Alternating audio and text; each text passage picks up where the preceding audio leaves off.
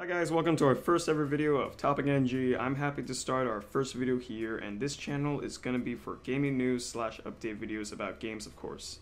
So I was on Twitter checking to see anything new and I found an interesting tweet from GameSpot saying, why Valve won't let you buy and gift Counter-Strike Global Offensive in the Steam sale and they gave us a link to their website explaining Valve's reason. So I clicked into the website and it says here, Counter-Strike Global Offensive is one of the many games that has been heavily discounted as part of the Steam sale.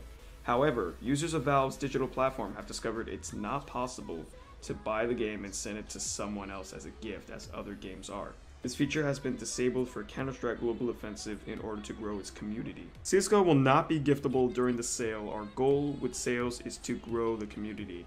And historically, during sales, the new users that stick around are mainly the ones that purchase copies for themselves.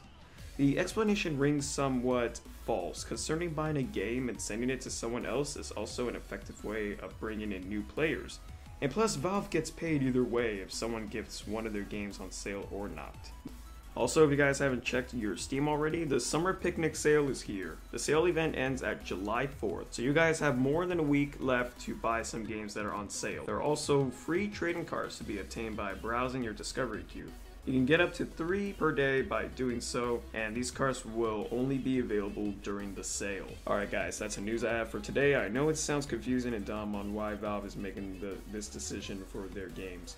Don't forget to leave a like and a comment about your opinion on Valve's explanation on not gifting CSGO on sale.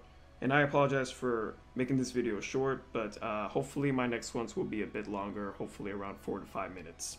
Anyways, thank you so much for watching, and see you guys in the next video.